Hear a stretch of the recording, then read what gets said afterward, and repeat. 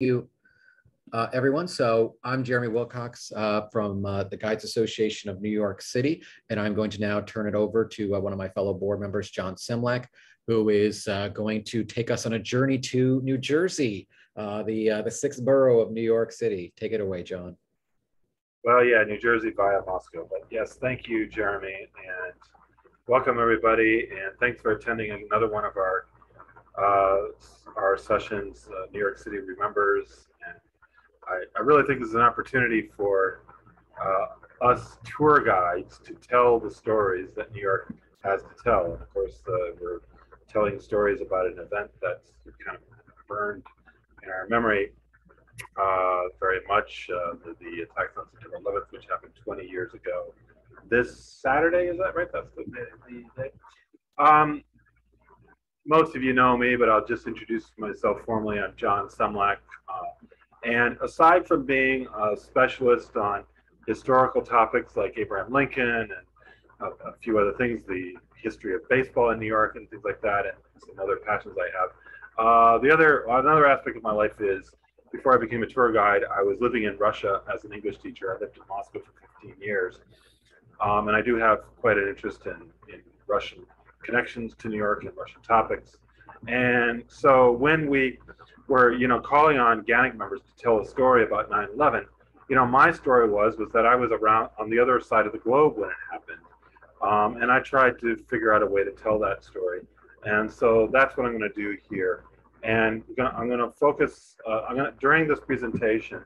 Um, as, and I'm going to go to the share. My, oh, oh, yeah, I have share screen enabled. That's good. I'm going to do that and I'm going to start my presentation.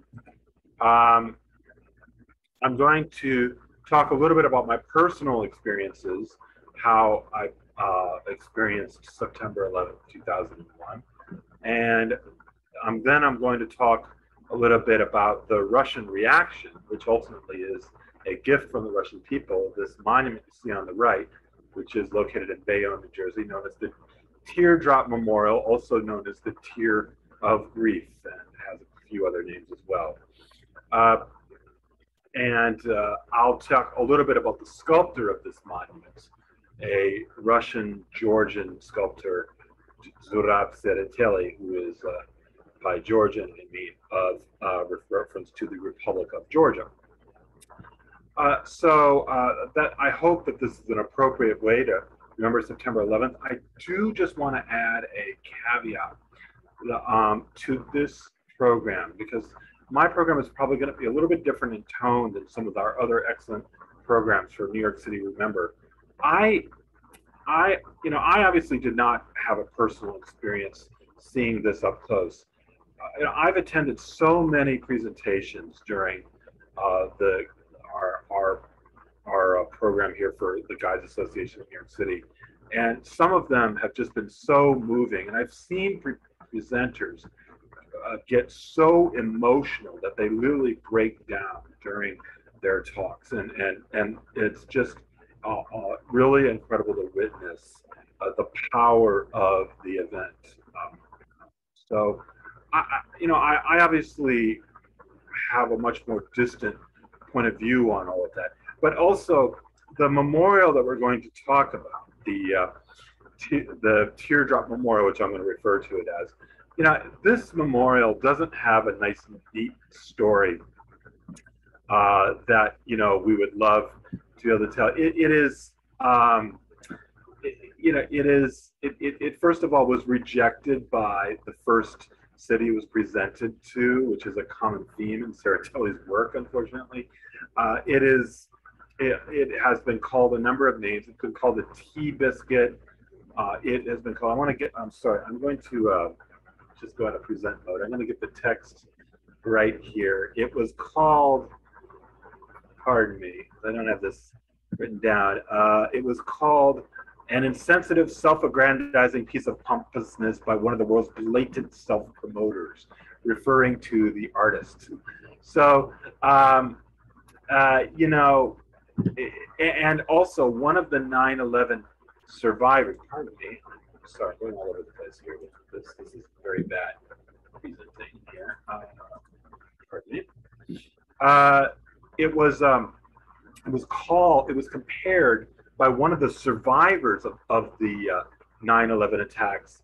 It was, it was compared to a sexual organ. I'm not going to read the exact words, and I wouldn't have even mentioned that at all. But since it was the actual words of a survivor, I felt it deserved at least a little respect. So uh, this monument has a lot of controversy attached to it, and um, uh, okay, um, there's some background noise going on. Is that is that correct, Jeremy? Do you, is there any background noise on your end? I'm not currently uh, hearing any. If anyone else is still hearing um, any background noise, please let me know. Might have just been a temporary glitch. Okay, I will. Um, I I just turned off a fan that was right behind me. That so that maybe that'll have some impact. Thank you. Uh, so uh, in any case, that's the uh, that that I just want to again start with that caveat that this presentation may not have quite the tone that some of our other wonderful presentations that have had this week. Okay, but going on, uh, and of course we continue to the World Trade Center. This is my photo, which I took on the Circle Line boat tour in I think 1998, if I'm not mistaken, but around then. Uh, I think it was my, my wife's first visit. I, of course, my wife is Russian, and it was my wife's first visit to uh, the United States. And of course, we saw a lot of the New York City sites. And of course, the World Trade Center was very much part of our experience. So one of my good friends then worked near the World Trade Center. He advised us. He gave us the local tip on where to shop, Century 21 department store, which of course just recently closed, but was right next door. So we spent a lot of time in the plaza between the towers, and it, it certainly was uh, a, a special place to us. But I was not in New York City when this happened. I was living in Moscow, uh, not traveling to New York.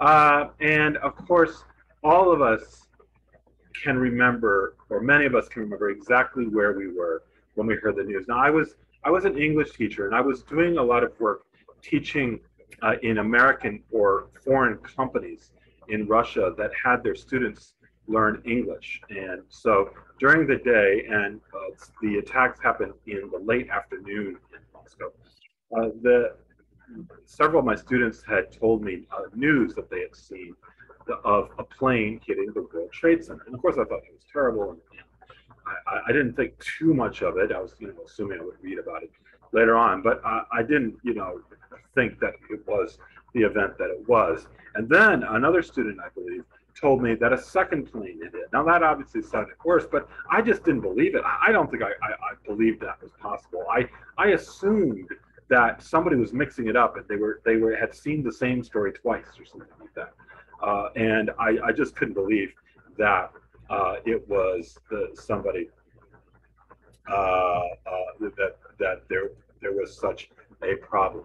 Uh, but in any case, uh, I, I I'm on my way home, and this is the apartment building where I was living at the time, where my wife and I were living at the time. And I remember exactly. My wife called me uh, walking up the street near, very near the building, and she told me that what had happened. She was her voice was shaking, and she said that both of the towers had collapsed and were no more. So, um, of course, I immediately uh, went to, uh, into my apartment and logged online. We didn't. Neither of us ever watched or did watch television news, and I could have turned on Russian television and seen reports of the attacks, but uh, I, I, I went online. I listened to a lot of radio online then, but this was still dial-up internet, so watching video online wasn't so easy. So I listened to a lot of NPR and actually a lot of BBC radio reports uh, about uh, the events, and of course did reading online. I, I was spared of the constant repeats of the videos of the planes crashing in, which I guess uh, I know that became a big uh, topic later on. But this is where I was uh, when it happened. Of course, we did return to New York City, and uh, you know, like so many people, we went to the. Uh, this was was still uh, you know you could only get as far as St. Paul's Chapel and see all the you know all of the memorials there and, and stuff like that and, and so on. Now uh, of course, there was a response from Russia. Vladimir Putin was very quick to send condolences. Uh, here's the front pages of a number of Russian newspapers uh, at the time, of course, showing a huge picnic. There you see massive pictures of people running away. And there's, a, of course, the there's George Bush. There's an English language daily that I was a regular reader of. They're up on the northern right, the Moscow Times. Um, this is uh, the front of one front page I could find online of that day, the for September 12th. This is Pravda. Now, Pravda was an old Soviet propaganda organ back in the day, but a lot of those types of news agencies had actually survived the, the fall of the Soviet Union and, and, and continued to exist in an era when, when you know, news was more independent in, in Russia. And you know, they, these were old brand names that, you know, people still would read or, or watch. So of course, you know, there you see, I mean, this, this is like any newspaper. Well, obviously it's in Russian, but uh, you know, I'm sure people can understand what's being talked about there. Um, uh, Vladimir Putin, who had was in his second year of his presidency then, uh, he had succeeded Boris Yeltsin, uh, um, and of course is still president now, and probably for the foreseeable future. Uh, but his his first lady uh, is no longer. They've separated the woman on the, on the left, on the uh, right there, and uh, there he is, obviously touring the site with Rudy Giuliani. We can that. And this is actually in New York City. Uh, this is uh, Saint Nicholas Orthodox Church, which is actually spacing out whether it's 98th or 97th Street, but it's in East Harlem, not far from me, and it's a Russian Orthodox church, Saint Nicholas uh, that is often attended by Russian officials, and uh, there is uh, Vladimir and his then wife in attendance with uh, some Orthodox bishops there. So there, so this was uh, a short time after September 11th. Now, uh, in Moscow, though, the focal point for reactions was, of course, the American Embassy. This is the main building of the U.S. Embassy in Moscow. It's a place I know very well. It was uh, where the, uh, the, the, the, main building there, which is part of a, a larger complex, faces the street, and uh, that's where the consular section is, so where Russians get visas and where I got my daughter's birth certificate uh, when after she was born. So uh, that this was this was often a place for protests. Of course, uh, only two years earlier, a very large protest against uh, the uh, um, the war in Yugoslavia took place there. Uh, so this was this is not always a place of support. But after September 11th, there was a very very different reaction, of course. And here we see the massive amount of flowers. Muscovites came in thousands, bringing flowers and grieving with uh, Americans who they considered sort of fellow uh, humans in in the face of terror, terrorism. There's this is uh, the, the text there reads, "Americans, we are grieving for you." Uh, there. Here's another photo of some some people placing flowers down next to. And these are probably these is actually Americans grieving uh, outside the American embassy. Now, uh, I mean, Russians uh, have, uh, you know, uh, certainly had experienced terrorism, and that was one of the things that many Russians felt was a, a way that they could help react to this. Uh, only two years there had been uh, bombings in Moscow that collapsed entire apartment buildings, killing uh, quite a few people. And, and terrorism, I while it's not as uh, uh, a huge issue now, as you know, for many many years was a very live issue in in Moscow uh, and and Russia in general. the but more deeply than that, I think one of the very significant parts of the Russian identity is the sense that the Russian nation has endured massive trauma over particularly during the Second World War, when over 25 million Russians died. And, and so uh, Russians have a very strong sense that they know better than anyone else the trauma of a nation. Uh, it's, I'm not saying that it, that's unique and that is that you know other nations have experienced terrible trauma, but I, I think it is something that is very very deep in the uh, Russian psychology, and so they they really felt that they could approach America and say, yes, we understand. You know, we've been through very you know deep problems, and you know one I remember the words of a taxi driver who once told me, oh well, you guys haven't you haven't experienced this before. You haven't had war. And so that, yeah, that may or may not be true, but that was a point of view that Russians felt that they had. Okay, now, um, one of the men who drove by the American embassy uh, during that time and saw people laying flowers and people weeping was the sculptor Zurab Tsereteli. And he was so moved by seeing the tears that he was moved to design this. Now, this is this is his uh, explanation. Um, uh, he, he was moved to design the teardrop memorial uh, as a gift to Americans. Okay, so that's what the teardrop is meant to represent, is what he saw uh, outside the American embassy after September 11th. So we're going to talk a little bit about Tsereteli now from this portion of the program, who he is, uh, this very prolific sculptor uh, that is somewhat controversial uh, and uh, and so forth. Now he he is of Georgian descent.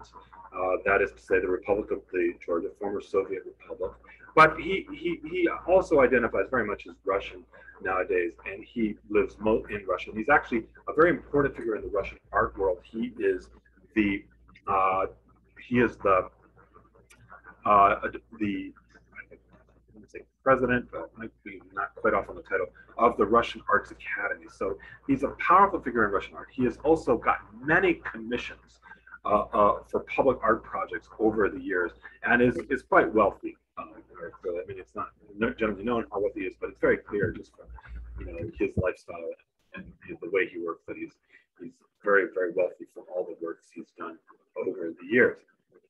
Uh, uh, okay. Now, one of his earlier, uh, he actually uh, started doing. You know, he had a very typical uh, artist education in the Soviet Union. I mean, again, he is is you know, he, he, certainly did live most of his life in the Soviet Union, and he um, and is still alive, by the way. he he had a, a education as a sculptor, and he received many early commissions for, for various public projects in the Soviet Union, and also for embassies of the Soviet Union abroad. So that, that gave him an exposure to the outside world.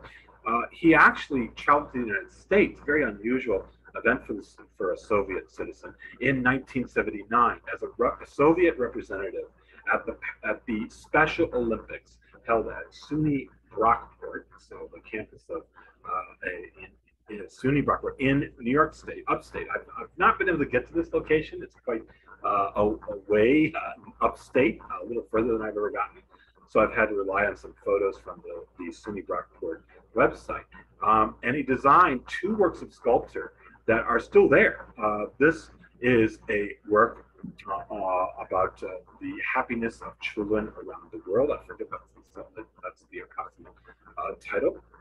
And here is another one uh, that also is on the campus of SUNY Brockport. And these two works are, are, quite, you know, I think representative of the type of sculpture that you see from Tsereteli later in his career. They're quite large. Uh, he always goes for very large size. He often abandons any sense of proportion. We'll see more of that uh, later on. You know, the, the, figures are often, you know, the, the, the size of the figures that are compared in his works are often they don't make sense, and so forth. Uh, here's one of his most famous works in Moscow, and, and, his if you live in Moscow or travel to Moscow, his work is everywhere, uh, and he's had many many decades of work there. Uh, this is one of his most famous works, which is also probably his most controversial, the statue of Peter the Great, which is on the Moscow River. Uh, there you can see uh, the uh, the Cathedral of Christ the Savior in the background. That's not terribly far. The Kremlin you can sort of make out in the background, but it's a bit, it's a bit downriver from now. Now, this statue is almost universally hated in Moscow. Uh, and I mean, I, now it has fans. I, shouldn't say that nobody likes it, but uh, it is. Uh, you know, I never met somebody who uh, liked it who was from Moscow, at least. Uh, and uh, it, you know, again, it's typical of his works you know, Peter the Great is like, you know, much larger than the boat he's supposedly commanding. Here's a closer up picture of that on, on the uh, central part of the work. Uh, and, and, so forth. So, now this is actually quite similar to uh, another work that he did uh, called uh, "The Birth of a New World." It's the statue of Christopher Columbus. Now, this work uh, is another typical story of works by Tsereteli, in that he created this in anticipation of the 500 year anniversary of Columbus's arrival in the New World in, four, in so 1492, uh, it would have been 1992. And he assumed that an American city would buy this. And so he made it in advance. But several American cities rejected, including New York City. there was an idea. I have no idea how serious this was. There was an idea to put this on Roosevelt Island. This is a massive sculpture, by the way. I, I mean, the trees, I hope, give you some sense of scale. Uh, it ended up being um, uh, installed in Puerto Rico, uh, in a very, very obscure location. I mean, I say obscure, it's just not in a, in a major city, uh, and it's, you know, a little bit uncertain. I mean, I think there's some plans to develop a kind of amusement park around it or something like that, but that hasn't come to fruition yet. Uh, he, he is a big fan of St. George. Uh, this is a work of his in a, uh, a park in Moscow called Victory Park, uh, it, which is honors uh, the Second World War. Uh, Russians know it colloquially as Poklonnaya Gora. And a statue of St. George slaying the dragon, or he's metaphorically slaying the Nazi Germans. I think you can see a swastika there that symbolizes that. and St. George is a huge element of his work. nearby, there is a monument to the Holocaust uh, this is a work called Tragedy of Peoples. Uh, and uh, so he did touch on that subject uh, a bit. And of course, it was in a World War II moment, so that's appropriate. This, of course, is in the near the United Nations in New York City. Uh, this is the good defeats evil. is recorded. And again, St. George, a popular subject is slaying a dragon. And the dragon is made of metal from nuclear missiles, Soviet and American uh, nuclear missiles. So it's uh, you know, meant to be, of course, it's uh, sitting on the ground of the United Nations that he's attempting to be very forward thinking in, in his sentiments there. Uh, this is a yet another St. George, a very this is a victory column or a independence column in Independence Square in Georgia, Republic of Georgia, his native uh, country, which became independent during his lifetime. Okay, so those are the, the kinds of works that he uh, has had uh, over the years, and also the kind of stories, you know, that, that we get a sense of his style, his use of proportions, and we find, and and also the controversies surrounding him, the fact that his his works are not, you know, always appreciated as much as he would like them to be appreciated. And so now we come to the Teardrop Memorial in uh, which, as I said, was finally placed in Bayonne, New Jersey. It was originally meant to be given to Jersey City. Uh, Tsereteli's explanation was he felt that it was appropriate for a monument to be in New Jersey because this is where many of the victims were transported to, as you know, many people uh, who had to get away were uh, brought to Jersey. So that was one of his interpretations uh, for that. Now he, um, uh, there was a, a, mayor of Jersey City named Glenn Cunningham, who was actually a supporter of this project and was on board with it. But he died, I think, in 2004. And the next mayors did not support this project. And so uh, Bayonne uh, seemed to be uh, willing to host it. And so it was placed near, and if you don't know where this is, this is on the end, the very end of the pier where the Bayonne cruise terminal is. It's a very, very out of the way location. Um, if you don't have a car, this is extremely difficult to get to. I actually went there uh, just a few days ago. I had never, I, had been there once on a tour uh, for a pickup for a cruise. I think I'd actually been to that cruise terminal a few times, but I had uh, only once gone up to the monument. But uh, still, it, it was it, it, was very difficult to get to.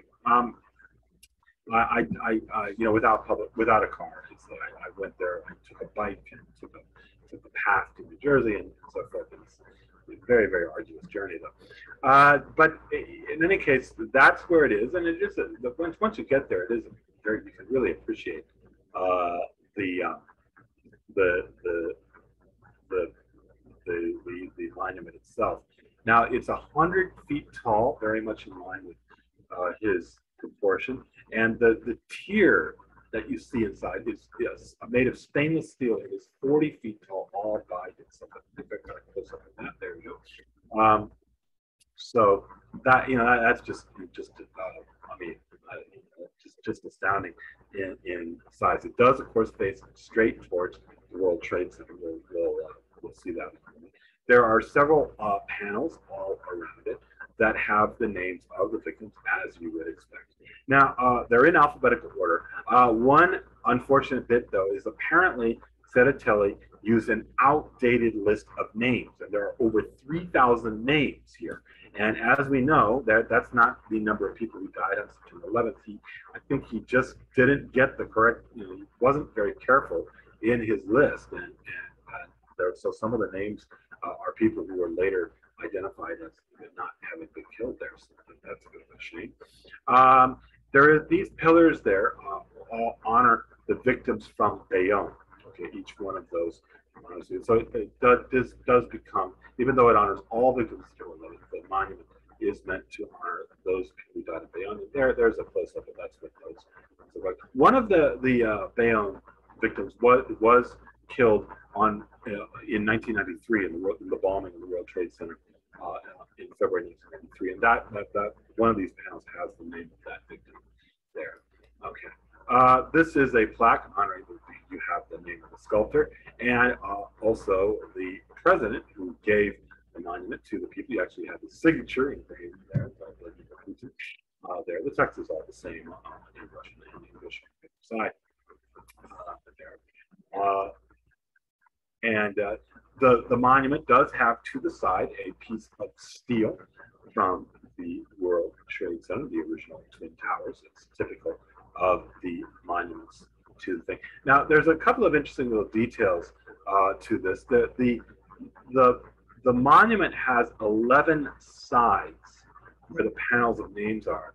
And there are nine paths that lead up. I don't have a, I don't know that I have a picture that illustrates those paths very well.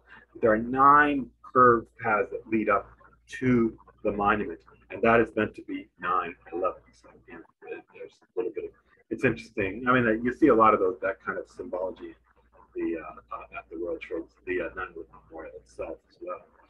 Okay. Now, of course, there are, are very good views of the World Trade Center from there, and then there's this other plaque again um, giving honor to the sculptor and to uh, the Russian president.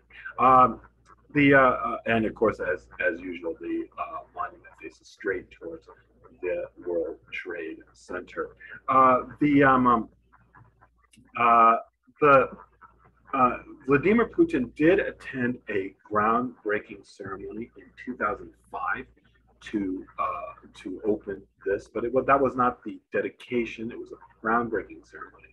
In 2006, the monument was formally dedicated, and the uh, it, former President Bill Clinton attended that ceremony among other officials.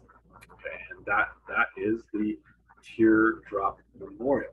It is also known as a monument to the struggle against world terrorism. So it has, uh, yes, uh, the, the name is the uh, left there. I think this is the fact that um, honored the Putin's dedication ceremony, I should say.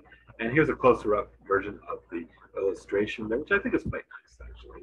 You can see those curving paths, which actually are there. Uh, and of course, he very much intended the Statue of Liberty to be in the background as, of course, the site of the former site of the Twin Towers. It's very typical of, you know, of course, uh, the various memorials to September. They typically face uh, the site of the Twin Towers. Okay. It is a beautiful site, um, and I do, you know, I, I would probably say it's best visited by car. Um, you know, I would, you know, I would not repeat the, the journey there without that. Again, maybe a Zipcar makes more sense. They spend so much money on various paths. I used the, um, even with a bicycle, I did do part of the journey on the New Jersey light rail system. Um, because I it was just doing, doing, the whole thing by bike was a little bit much for me uh, in the current shape on it. Uh, but um, uh, I think it is worth. It's a nice place, right? There aren't too many people there, um, so I do recommend if you are in, the Jersey side to, to give it a, a, visit. I think it does. It certainly is a monument respectful of the events that we've experienced uh, that we experienced 20 years ago. And that's my presentation. It wasn't uh, too long, and I hope that. Um, uh, everybody enjoyed it. I hope that the, this whatever sound pump you had wasn't too bothersome. I'm just going to check the uh, Q and A. Uh, what are the way sculptures are made. Um, uh, I um, um see. I don't know. I'm gonna say I don't know. I uh, I'm, I'm not sure which are we talking about the were we talking about i'm going to have to ask for a follow-up question there which sculpture and emma is here and she's gonna answer that. Um, uh, I do appreciate Karen uh, saying that the pictures are outstanding. I should say that, of course, some of these photos are not photos I would normally use for a presentation like this, since this is a volunteer effort. I was a little more liberal because um, I borrowed some photos from sort of not proprietary sites like you know, know, news sources and so forth. But I did, wherever possible, use photos or, or at the very least uh, um, um, public domain photographs. I did I did actually go to Georgia to to to uh, see uh, this, for example, DC.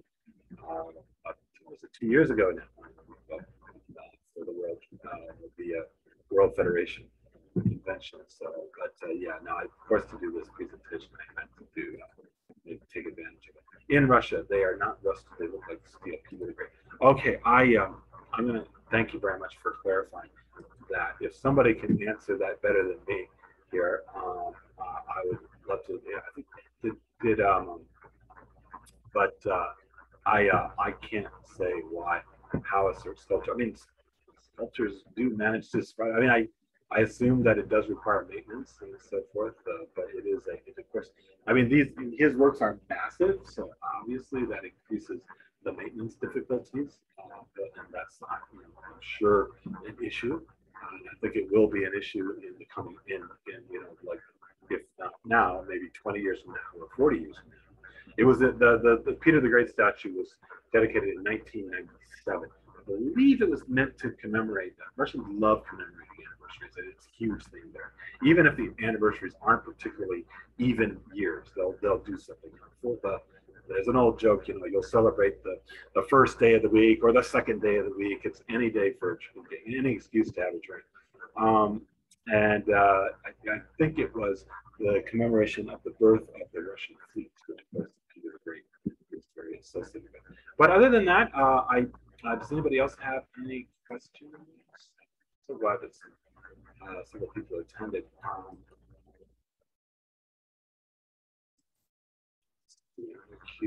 any sculpture in Russia you know of which was designed by an American? Um, I think yes. I don't have a picture handy, but um, the, there is a statue of, oh, I see why, and guest Gonzalez is appearing here because it's, okay, yeah, of course Emma is always with us in presentations because she is our host. She, um, uh, the um, um, uh, there is a statue of Walt Whitman in Moscow. I've posted it on my Facebook feed. I will uh, um, Jim, since you asked this question and you and I are friends, I'll tag you on that photo because I have it on Facebook. Uh, it's easier for me to do it later on.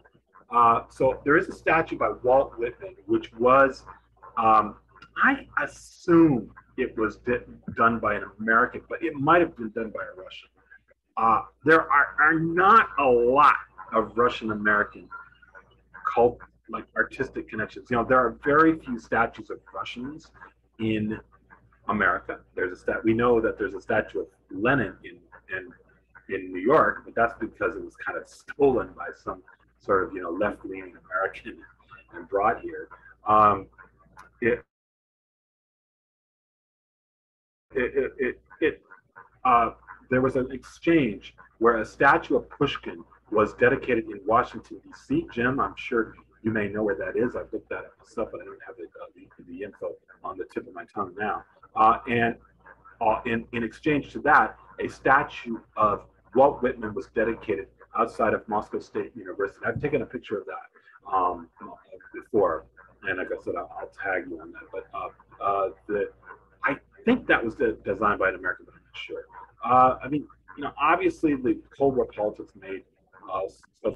There are a couple of busts of Americans also at the um, the Moscow International Library. I think that's what it's called, something like that. There's a library of, of foreign, no, the Library of Foreign Literature is what it's called. Um, and there's a bust of Lincoln, which I believe was donated by the University of Illinois. Again, I've, I've taken pictures of that.